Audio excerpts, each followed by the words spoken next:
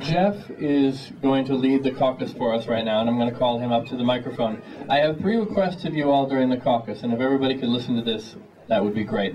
Uh, the first one is be courteous to people as you're moving around and to people who may not be caucusing with you at the outset. Uh, the second one is uh, to please be honest. Uh, we're going to end up with a count. We're going to have to do a lot of math. Math is hard for me. I'm a lawyer. so when you're in your caucus, there will be times when we're asking you for counts. Please be honest in your count. And the third thing is when Jeff is talking, be quiet so we can really have a great caucus and do it right. Thank you. Hello and welcome to Blue Jersey Radio. Wait. Sorry, I'm sorry, I forgot where I was for a moment. Uh, I just wanted to thank all of the campaigns for participating tonight, really having a buy-in and making this event successful, which would not have happened without you. Thank you. And thank you to the incredible surrogates who got sent here to stump for their candidates. Some of them are making their way to the door, but we really do appreciate it. Thank you very much again. Any of the surrogates who are going to stick around in the room, you're welcome to caucus with your candidate, as long as you are a registered voter here in New Jersey. So, um, we already did the thank yous for all the sponsoring organizations. So thank you everybody for coming, and it's time for the moment you've all been waiting for, where we're actually going to vote with our feet. Yes, that's right. So we we do know approximately how many people we have in the room because we did our best to count, and it is in right around 200. Yeah. And we are, I'm only telling you that as a guidance. We'll know exactly how many when we add them up, when we're counting uh, the, from the various places in the room. But what we're going to do right now is start the first round of the caucus.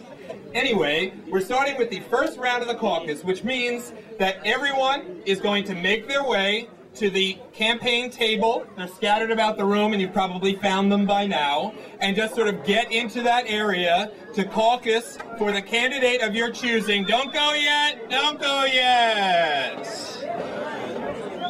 In this first round,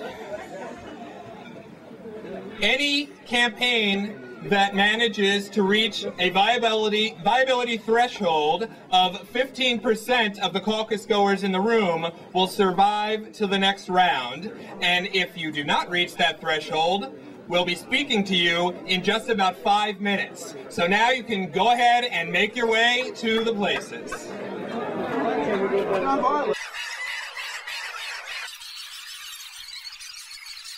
campaigns for the second round.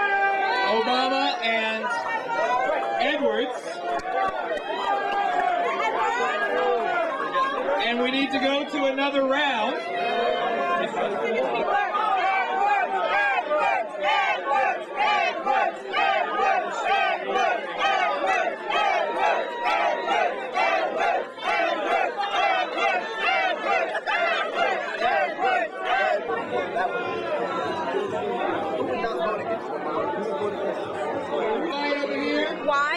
Because he has done things in his life, like working with various community organizations that I can relate to, because I've done those things also. And I would like to have a president of this country who's done such things.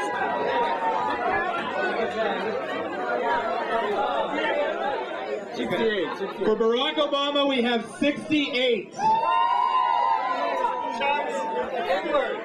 Can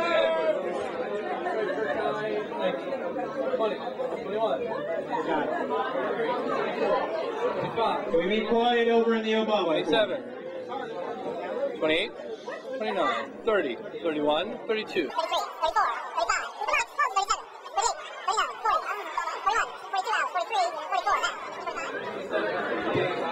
Can we keep it quiet and you might hear about the orange hat?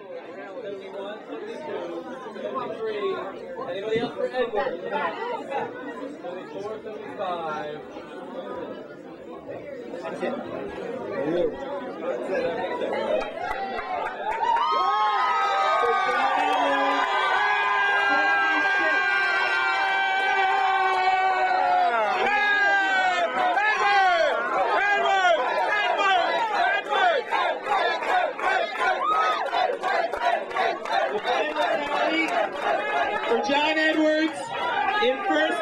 With 76. In second place, Barack Obama with 68. And in third place, Dennis Kucinich with 34. And everybody. Just like the orange hat says, caucuses can be very unpredictable. You never know what's going to happen. So thank you, everybody, for coming. Have a great night. And uh, we'll see you in the